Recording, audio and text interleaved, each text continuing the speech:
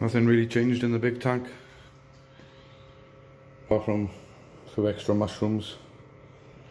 A lot of extra zoas.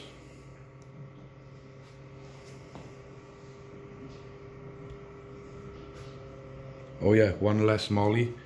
I woke up one day and the smaller molly was like stuck to the pump so something had to go with it, probably that one because they didn't used to get on sometimes.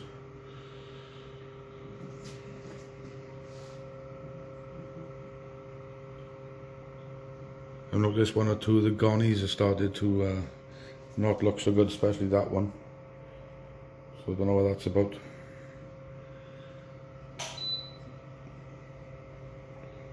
Yeah, apart from that, nothing really changed, not for a couple of weeks. Until the new editions go in.